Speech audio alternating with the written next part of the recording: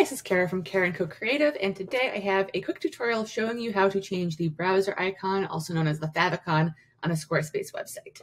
So what this is, is this little square that if you don't change the favicon on a Squarespace website, it's going to show this black box. And that is the default favicon, but you can change that easily in the settings.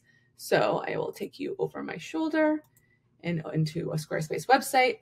So in any Squarespace website, all you have to do is come down to the settings tab and then to the favicon tab. And here is where you would upload an image, or if you need to change it, you would replace it. You also have the option of adding in a dark mode. So if the browser tab is black, for instance, what the image will display. So here on this one, you can maybe see I have a little mm, half moon or crescent moon with a star and it's black on the default. And then the dark mode option is white.